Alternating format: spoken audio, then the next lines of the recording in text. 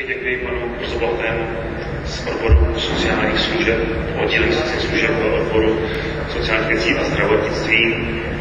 Ale nyní bych už požádal eh, prvního našeho milého zahraničního hosta, sice paní eh, Uršulu Kočo, požádal bych ji o přednesení jejího příspěvku na téma psychologická dynamika v rozpadající se rodině a způsoby jejího řešení. Prosím.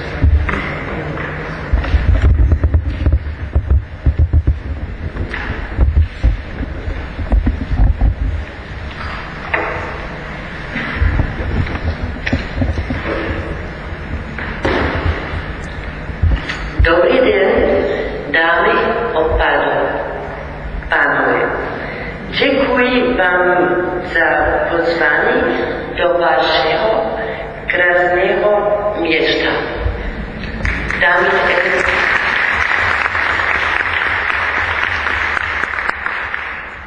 Damit endet leider bislang mein Tschechisch. Tím jsou bohužel vyčerpány moje dosavadní znalosti češtiny.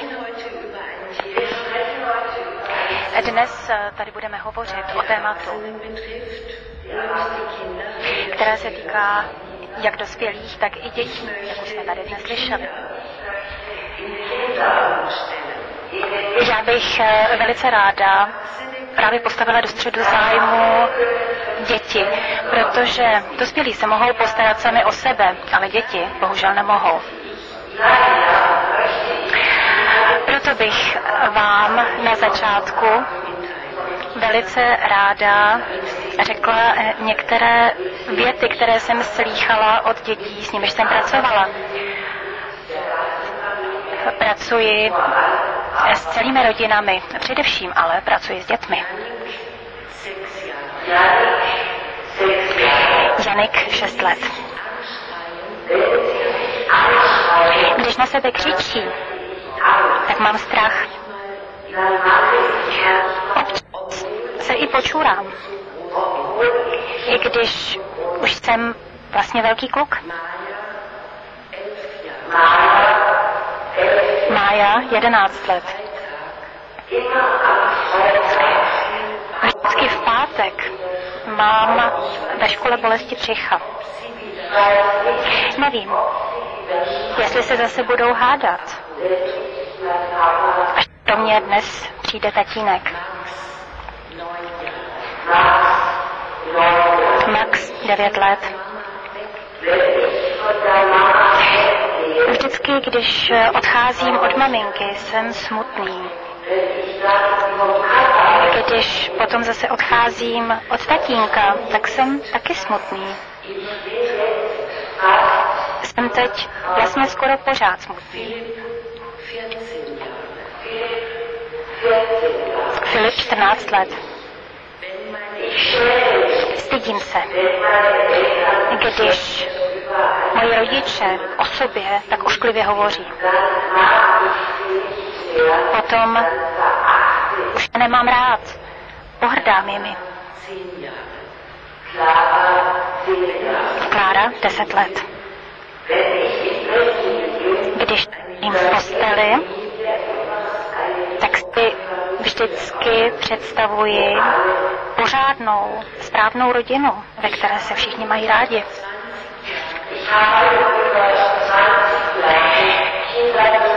Víc než 20 let jsem zhromažďovala různá dětská přání. A byla to přání dětí, jejichž rodiče jsou v konfliktu, které rodiče, kteří se rozcházejí nebo už se rozešli. Nyní vám přečtu pět přání. A těchto pět přání jsem slyšela od 100% všech dětí. Všichni si přejí, aby se rodiče přestali hádat. Rodiče by spolu měli zacházet úplně normálně. Rodiče by k sobě měli být příjemní a přátelští. A rodiče by měli na sobě vzájemně pořád shledávat něco hezkého. A rodiče by se měli vždy v klidu ohledně dětí dohodnout.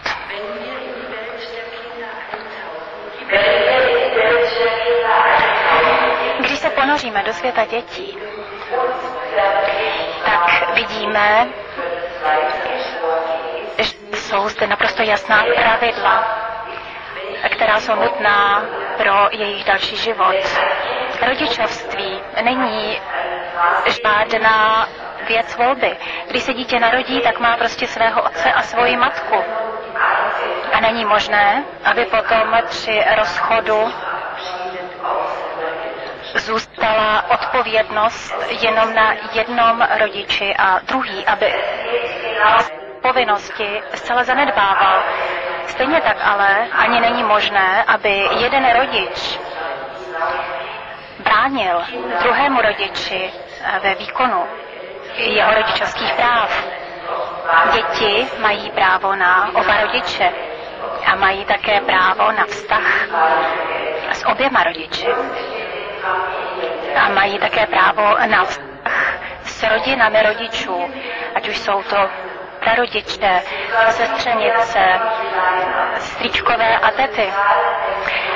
Rodiny jsou pořád menší a sociální síť dětí eh, rozhodně zahrnuje také rodinu rodičů dítěte. A proč je to tak složité, aby se rodiče byli schopni dohodnout po té, co se rozejdou? Rozchod a rozvod se také jenom ve vaší, se, se také i ve vaší eh, zemi považuje pouze statisticky za normální jev.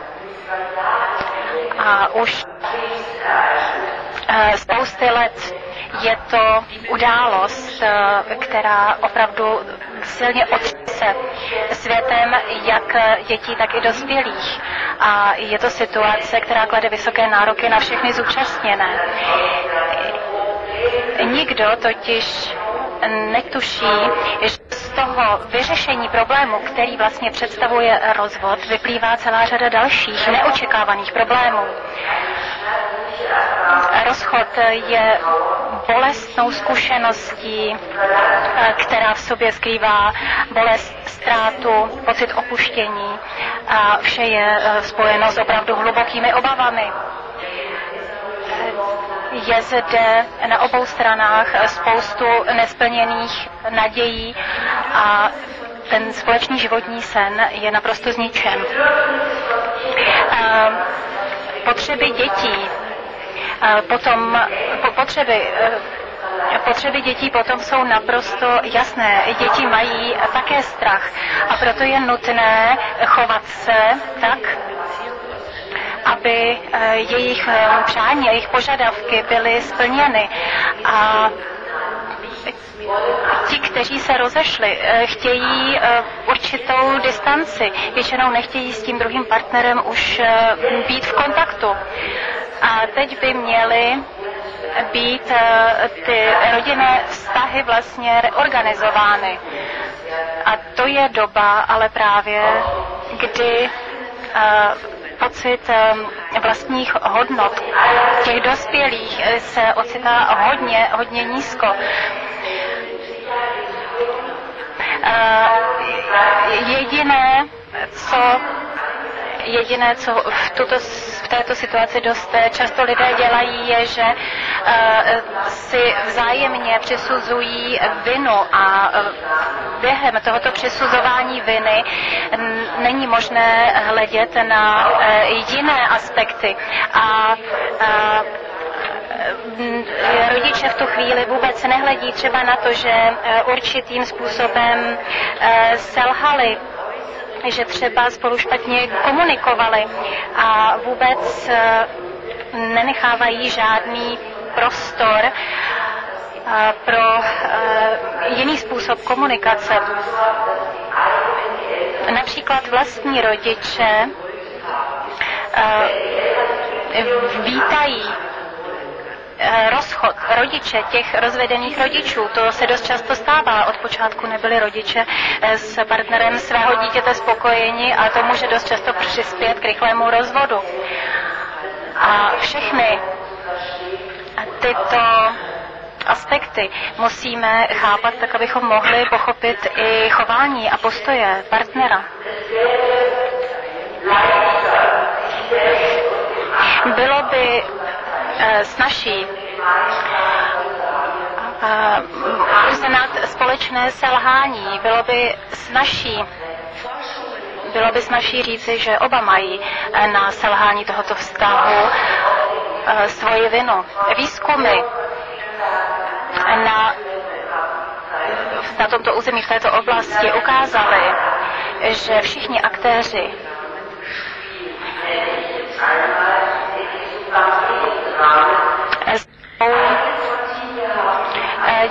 v rámci této hry těmi, kdo mají vlastní motivy a vlastní důvody e, ke svému jednání a každý člen rodiny přebírá určitou roli v tomto konfliktním procesu.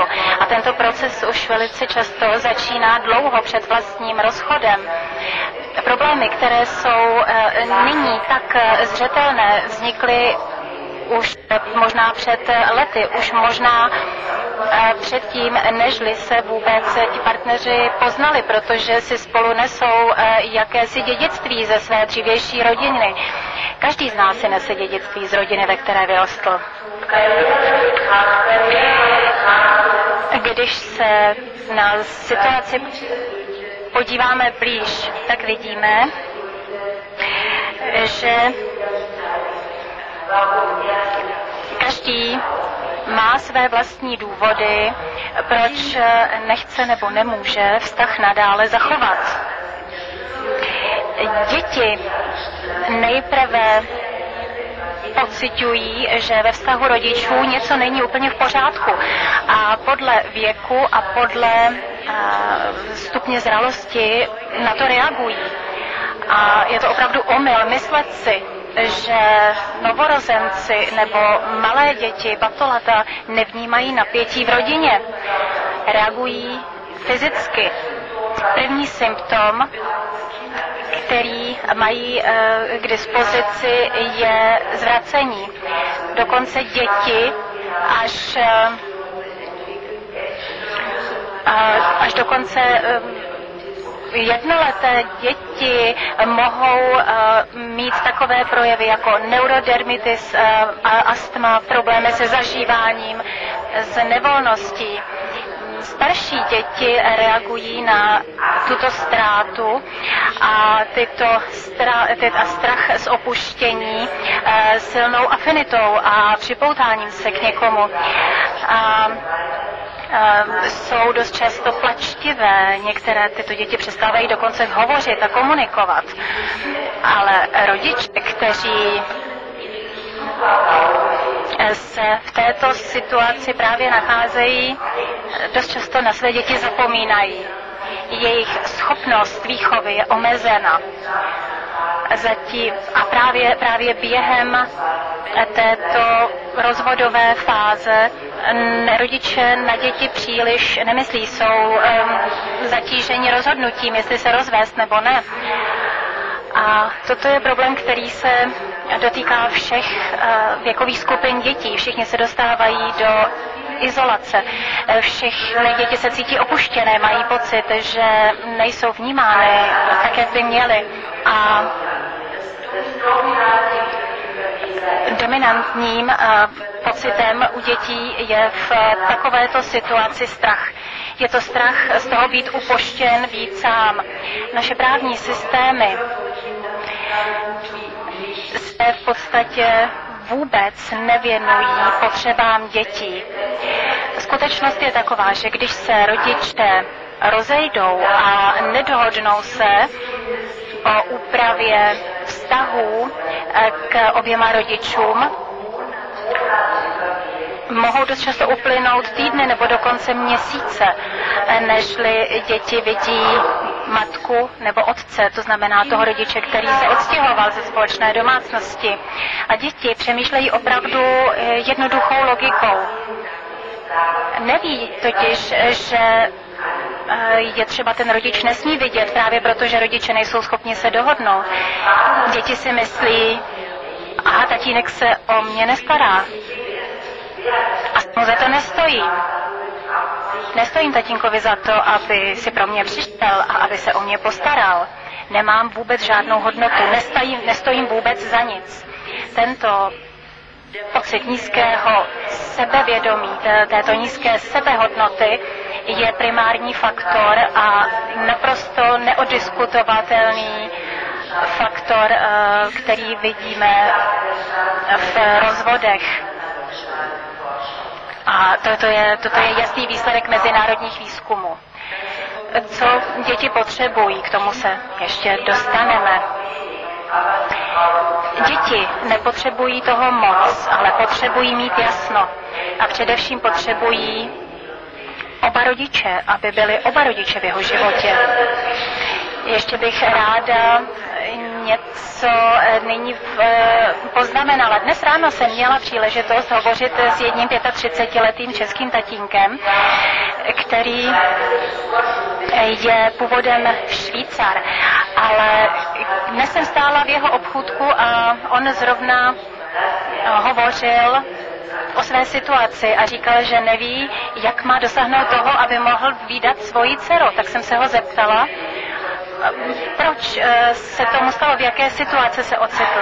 A měla jsem opravdu možnost eh, seznámit se s autentickým případem rozvodu tady z Prahy. Řeknu vám takové základní údaje. Je to opravdu klasický případ, který se odehrává nejenom eh, v České republice, ale v jakékoliv jiné evropské zemi. A Ráda bych vám v této souvislosti řekla, že v Evropě máme opravdu vynikající právní systém. Každý uh, stát má vlastní systémy, ale ve všech těchto zemích jsou uh, systémy rodinného práva opravdu výborné, ale nerealizují se tak, jak by měly. Nerealizují uh, ho ani soudci, ani sociální pracovníci, ani advokáti.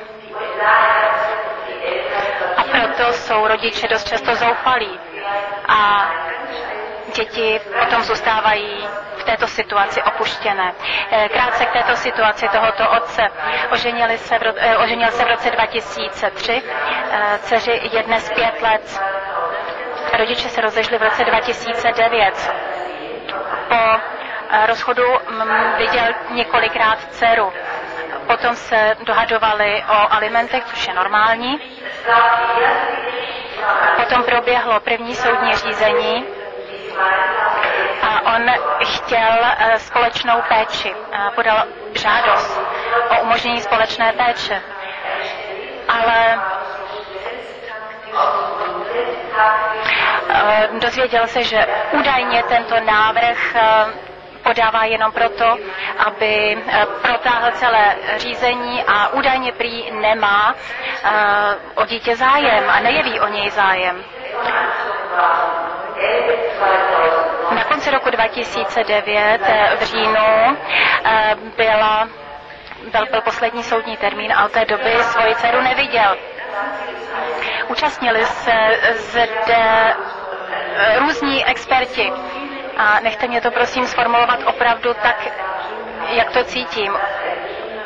Tady se podílelo spoustu expertů na tom, že dítě ztratilo svého otce a možná, že ho ztratilo na hodně dlouho.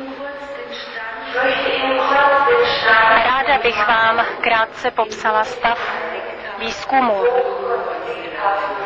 ve vysoce konfliktních rodinných konstelacích. Vysoce konfliktní znamená, že rodiče nezvládli potřeby a zájmy jejich dětí oddělit od vlastních egoistických zájmů a potřeb. Následní, následující kritéria jsou jasná, jsou přetrvávající potíže v komunikaci a v koordinaci výchovy společného dítěte. Je zde vysoký stupeň odmítání a nedůvěry mezi oběma rodiči. Dost často dochází k nepřátelským projevům, které jsou otevřené nebo i skryté. A všechny tyto pocity vyplývají z toho, že společný životní plán mm, se zhroutil a vyplývají z toho, že jeden klade tomu druhému vinu za tuto složitou životní situaci. A každý se tak vlastně brání. Je to situace, ve které se rodiče ocitli a oni nepotřebují žádné odsuzování, potřebují naopak podporu od všech profesí, tak aby s touto situací byli schopni dobře nakládat a aby byli schopni v této situaci přežít. Dochází, dochází také k právním sporům o svěření do péče a o kontakt Dost často se také neustále obnovují tato řízení v rámci daných systémů. Co to znamená dané systémy? Znamená to, že profese hledají dobrého a špatného rodiče a vždy takového najdou. To jsou ta stará pravidla hry, podle níž eh, se pořád soudní řízení řídí. Ten, který vyhraje eh, v řízení, eh, v tomto soudním řízení, dost často zvládá zničit eh, toho druhého, kdo prohrál, ten kdo, ten, kdo prohrál, ten má najednou naprosto spochybněnou svoji rodičovskou autoritu a to se dost často podaří tomu vítězi soudního sporu. A k tomu přispívají všechny profese. A všechny profese ale také mohou dosáhnout pravého opaku.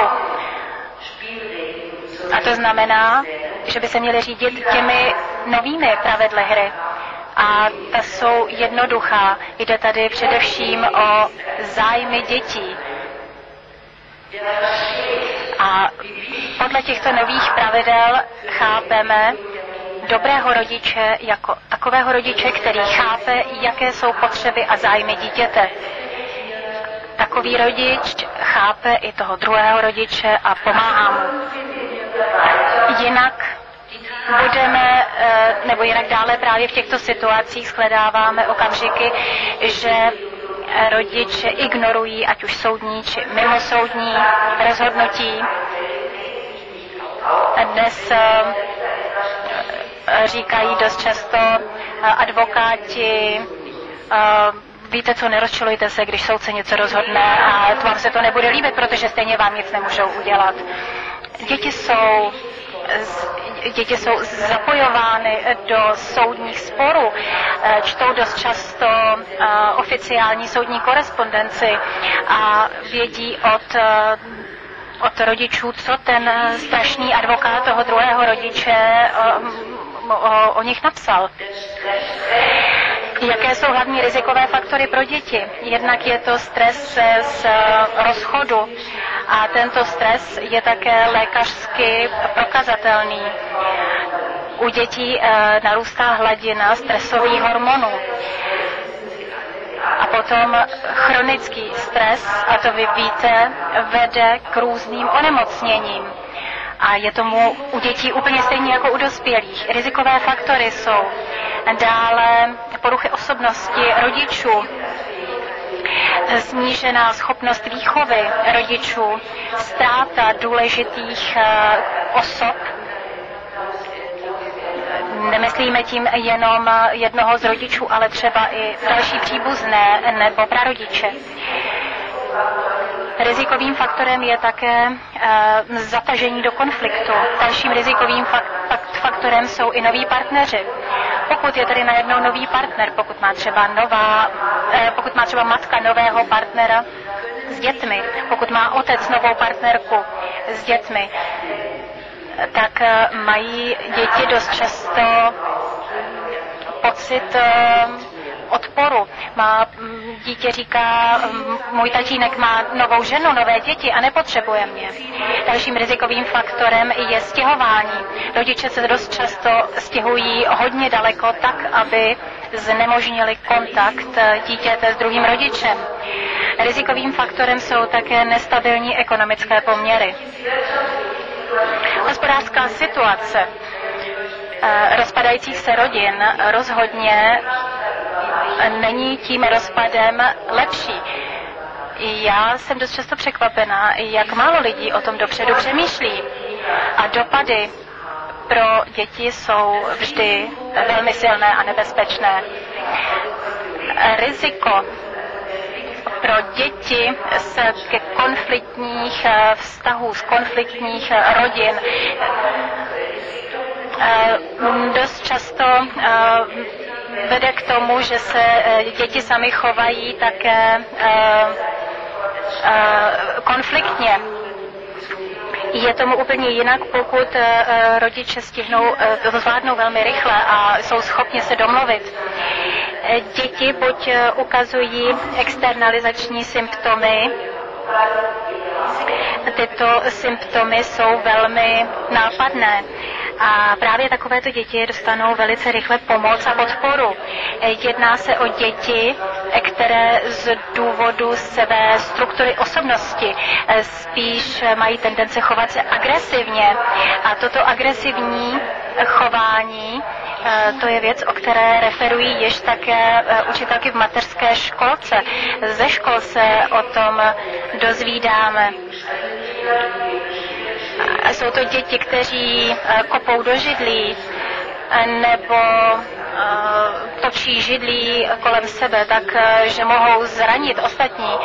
Jsou to děti, jsou to děti, které mají tendence k vandalismu. Například cholerické chování je typické. Najednou záchvaty zlosti. Jsou to totiž e, situace, kdy se příliš hromadí v dětech strach a obavy, až to vede k explozi. Dost často se z těchto dětí stávají mladí delikventi, zneužívají alkohol a drogy. Nevím, jestli máte v České republice stejný fenomén jako my v Německu.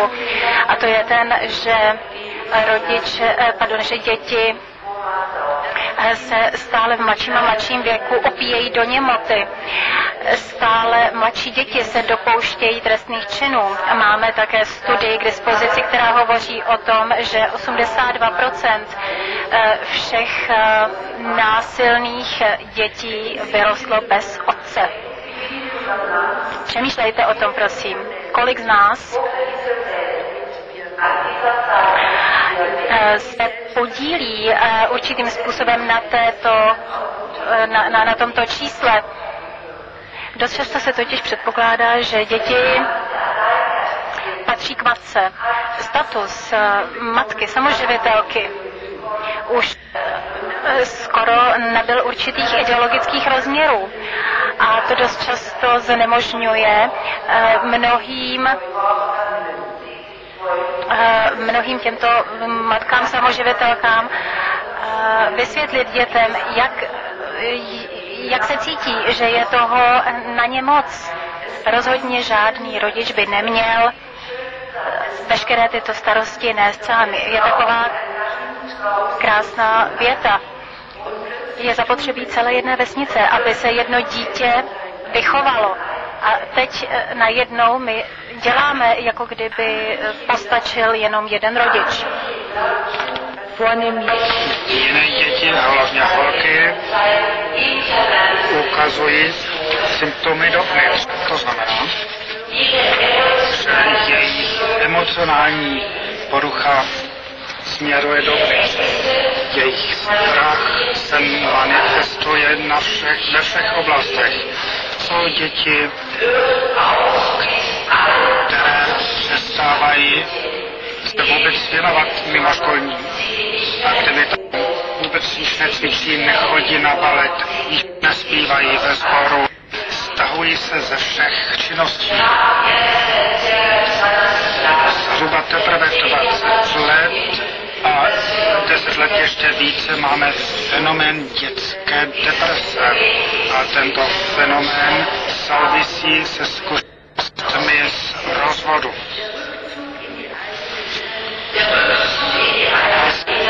Vaření se do vlastního vnitra končí většinou v depresích, ve psychosomatických symptomech, které jsem již uvedla, neurodermitis, astma, migréna, enurezy.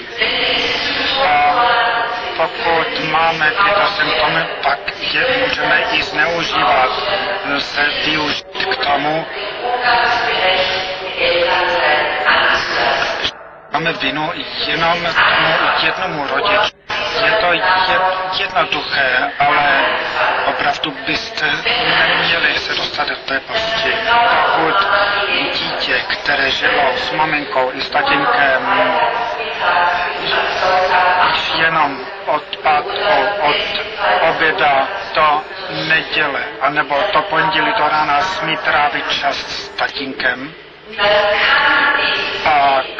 dítě po návratu nemůže být šťastným, veselým dítětem.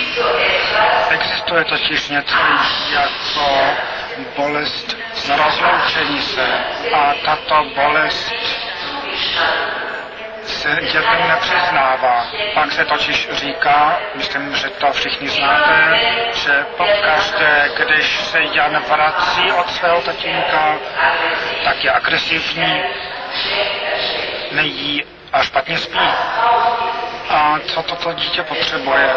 Potřebuje pomoc a potřebuje pochopení své situaci. A nepotřebujeme ukončit vztah se svým otcem. A tento argument, že po navratu je dítě jakýsi změněné, je nejčastější argument. A co děláte vy ve vaší profesi? Mluvíte pak s rodiči o potřebách dítěte?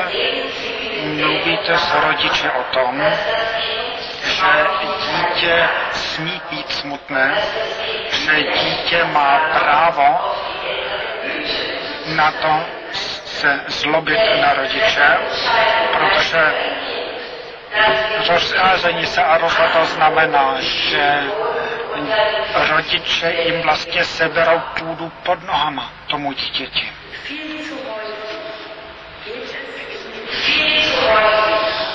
A velice často v soudním řízení jde spíše o to hájit zájmy rodiče, nikoli v zájmy dítěte. Děti po několika letech najednou ukazují, že mají špat horší výkony. Vždycky byly dobré ve škole, ale najednou jsou čím dál horší. Jsou čím dál pasivnější a hlavně u holek tento efekt přijde takzvaným spacím efektem, sleeper efekt. Dítě nebo holka, jejíž rodiče se rozejdou v věku dítěte pěti až osmi let. Tyto holky chtějí být hodné a děti to chtějí usnadnit rodičům. A dívky se stanou nejlepší kámoškou maminky, ale až pak v pubertě se vynoří veškeré emoce, až nikdo již s tím vlastně nepočítá a nikdo nechápe, že tyto emoce jsou následkem konfliktního rozvodu rodičů. Teprve pak dívky ukazují emoce doma již jenom přespávají a máme dívky a kluky, které od věku 13 let již skoro nejsou doma.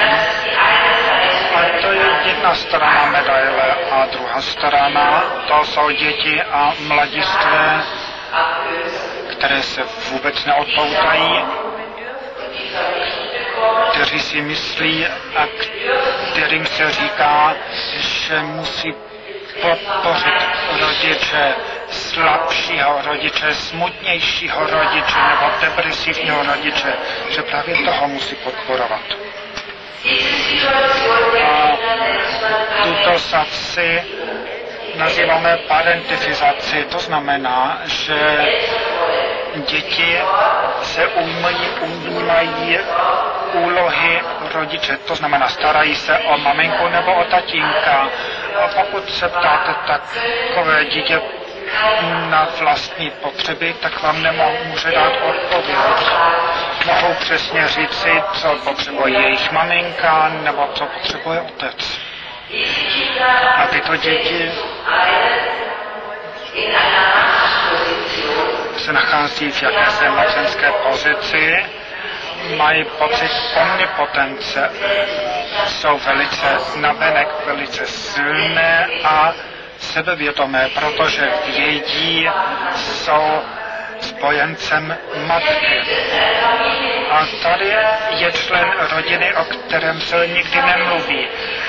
A ten se jmenuje, že pokud ne ty, pak někdo jiný. A pak tím děti vlastně ovládají svoji rodiče a čím jsou starší, tak tím lépe to funguje na základě vydírání. Pokud neuděláš to, co já chci, pak jdu ke svému otci.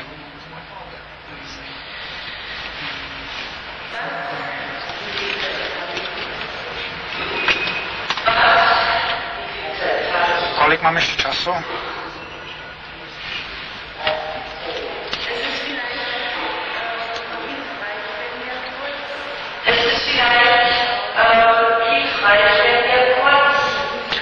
Možná to pomůže se krátce podívat na to, jaké osobnosti rodičů často nacházíme ve vysoce konfliktních rodinných situacích.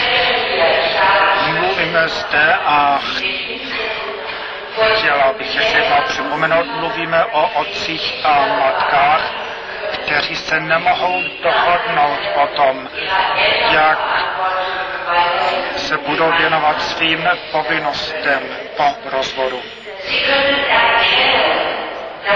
Mohou můžeme vidět, že ty, ro, ti rodiče mají problém sami se sebou a často mají komplikované struktury vlastní osobnosti, anebo že i z původní rodiny, kde vyrůstali, si tam osvojili určité vzory tahové. Je to znát na následujících symptomech. Druhý rodič se označuje za potenciálně škodlivého pro dítě.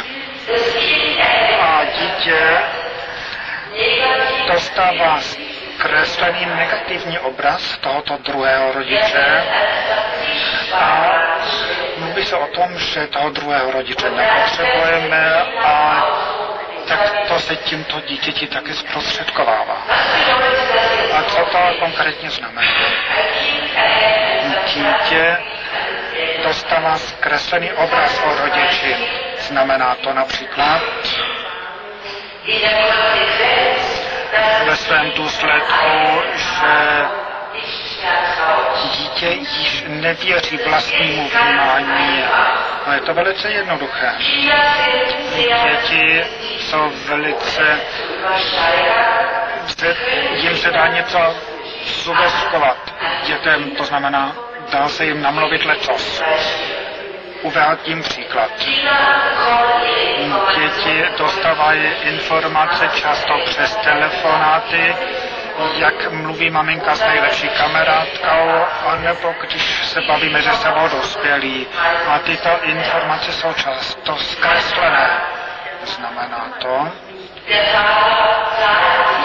a praví se tam, že otec již neplatí a otec se již nestará a děti to slyší a pak se vlastně vyvíjí vlastně film v hlavě. A rodiče o tom nic nevědí, ani odborníci o tom nevědí, o tom vnitřním filmu, pokud si neudělají čas se věnovat těmto dětem a mluvit s nimi. Dítě slyší, když to takto dál, pak musíme prodat dům a musíme opustit třeba byt. A pak o tohoto okamžiku dítě si mladiství si myslí, že v nejbližší době již nebude mít byt, budeme žít pod mostem a již nebudeme mít ani na jídlo.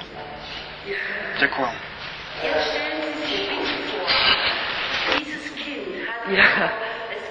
Jetzt stellen Sie sich bitte vor, dieses Kind hat im Kopf, es geht uns schlecht, wir haben bald gar nichts mehr. Dieses Kind soll in der Schule sich konzentrieren können.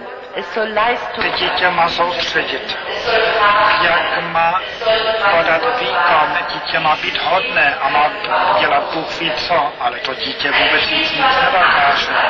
Dítě, který má strach, když doma zazvoní telefon, protože má hrůzu z toho, že matka nebo otec zase řve do telefonu. A ten, toto dítě je řízeno jenom strachem, již nemá dětský život a rodiče si toho nevšímají, pak později často dostávají takovou informaci od jiných dětí. A z této informace pak vyplývá, odkud tato informace pochází. Například čtyřletá mi řekla, nechci vidět tatínka a má přestat nás obtěžovat. Obtěžovat, to je opravdu zvláštní slovo pro čtyřletého. A na to jsem se jí zeptala, obtěžovat a jak to dělá? Co pak dělá tatínek tím, že vás obtěžuje? A na to mi řekla, to já nevím, ale vždy, když on volá, tak maminka říká, přestan nás obtěžovat. A nebo když máte děti, tak víte, že je opravdu obdivuhodné, když osmiletá a desetiletí říkají, že již nepůjdeme ke své mamince, nic zdravého nám jídlu nedává, dokonce nám dává sladkosti. Takové argumentace můžeme slyšet v libovolné formě, pokud pracujete s dětmi.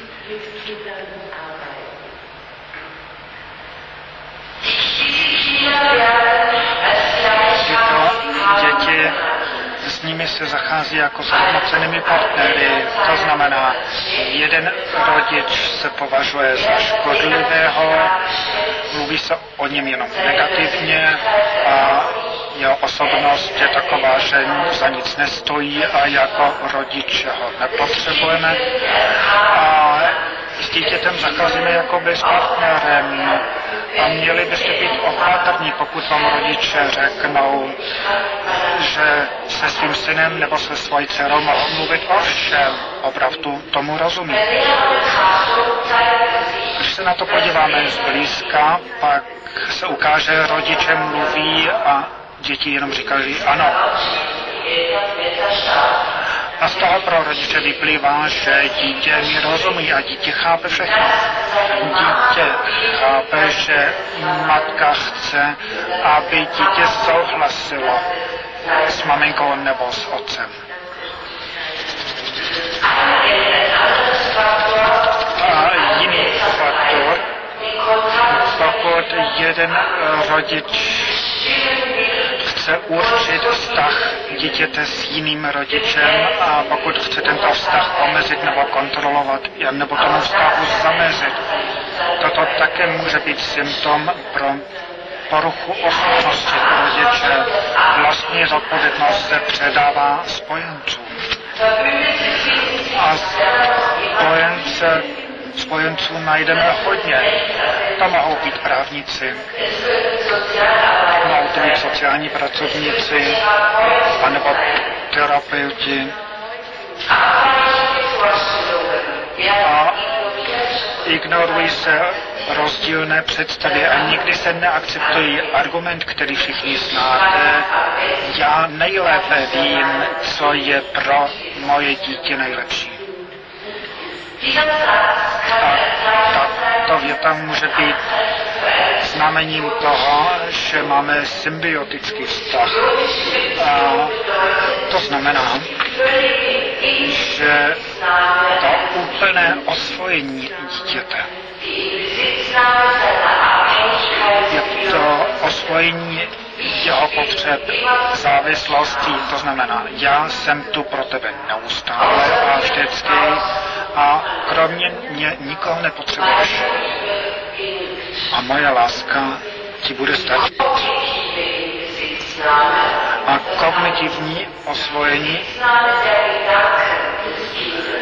je to osvojení myšlenek dítěte. Já nejlépe vím, co je pro tebe dobré a spolehaj se prostě jenom na mě. A emocionální osvojení dítěte, to znamená, že my dva se milujeme a my proti zbytku světa.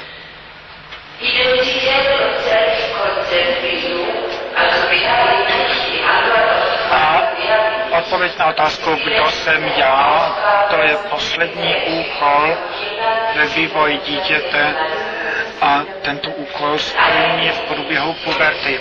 Vlastní identita se vyvíjí přes identifikaci s oběma rodiči. Pokud úplně chybí jeden rodič v životě dítěte, pak je to skoro znemožněné získat nebo vytvořit pozitivní vlastní identifikaci. Dobrý sociální otec může být opravdu velmi důležitým člověkem v rámci identifikace. Pokud si dítě odpoví na otázku, kdo jsem já a odkud mám svoje biologické, genetické kořeny. A proto potřebujeme vztah biologickým rodičům.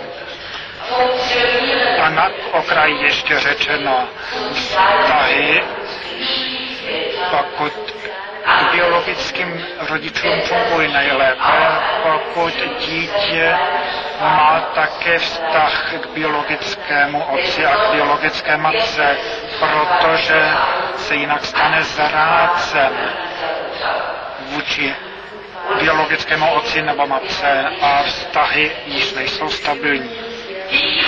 A jak může fungovat, že děti nikoho nestratí? Že děti mají vztah k celé rodině, k rodičům a k prarodičům a k dalším členům. První předpoklad je, že profese jsou zajedna, že to je opravdu jeden cíl a že je důležité a že to je přímo právo dítěte a že dítě není jenom právním právem, ale že to vyhoví přáním a potřebám dítěte. Jsou výjimky a tyto výjimky můžeme zjistit velice jednoduše a máme výjimky jako aktivní a pasivní zneužívání dětí. I pro zjišťování těchto výjimek potřebujeme druhé pravidlo. A to je tedy ten druhý cíl, a to znamená úzká spolupráce mezi všema, všemi profesemi. Je zde opravdu důležitá síť. Jsou v ní soudci, advokáti, sociální pracovníci, poradenská místa, prostě všichni, kteří pracují s rodinami v rámci právního řízení a také mimo něj. Mediátoři, znalci k ním také patří. Důležité je, aby všechny tyto profese měly společný cíl, aby společně zdůrazňovali a posilovali odpovědnost obou rodičů. Cílem je obnovit autoritu rodičů a také jejich odpovědnost a neupustit od jejich odpovědnosti. A už je tomu skoro tak ve všech evropských zemích, že se většinou tedy děti svěří do společné péče. Je opravdu jenom málo důvodů pro svěření dítěte do péče jenom jednoho z rodičů. A tyto důvody jsou stanoveny v německém právu v paragrafu, který hovoří o zneužívání dětí. To může být jeden z důvodů pro zbavení rodičovské péče, ať už na krátkou dobu nebo na dlouhou dobu. Propojená práce všech těchto zmíněných profesí znamená, že si tyto profese musí neustále sdělovat své poznatky. A důležité ale je, aby třeba advokát věděl, co vůbec dělá sociální pracovník. Stejně tak musí sociální pracovník zavolat soudci a říci mu, o co se jedná. Jde tady o odstranění určitých hierarchií. V České republice toho vím jenom málo. Vím ale, že v Německu eh, toto hierarchické myšlení a určitý eh, respekt, až nepřiměřený respekt před určitými profesemi je poměrně silně zakořeněn. Je to respekt před, řekněme, tím vzdělanějším. Je to respekt před tím, kdo vykonává prestižnější povolání. A tento respekt brání tomu skutečnému respektu před kompetencí a schopností toho druhého a brání eh, v komunikaci na úrovni očí. Důležitá je kompetence vlastní, ale i znalost kompetencí ostatních profesí. Ano, už budu hotová. Myslím si, že můj kolega, který bude hovořit po mně, zmíní praktické příklady. Dovolte jenom, abych velice rychle prošla krátké zhrnutí. Děti by neměly a nesmějí ztrácet rodiče První, kdo má v takové situaci kontakt s rodiči, je advokát. Pokud advokát říká, prosím vás, už teď nehovořte s manželkou nebo s manželem, to je jedno, co, co teď budete, to, to je teď to, co, co se teď bude dít, my to všechno za vás zařídíme. Advokát, který řekne, chápu vaši zlost, eh, chápu vaši naštvanost. To je sice hezká věc, ale je důležité, aby také tento advokát řekl, musíme se snažit, abychom chránili zájmy vašeho dítěte. Jak bude potom postupovat soudce, to vám vysvětlí pan Rudolf, který dlouho působil jako soudce eh, u rodinného soudu. A on je ten, eh, který vždy sázel na dohodu mezi rodiči. Nezbytné také je, aby sociální pracovníci a pracovnice se automaticky nestavili na stranu matky, což je dost často takový přežitek a zůstává to stále pravidlem. Ano, je to pravda, že zde máme jakýsi e, mýtos matky.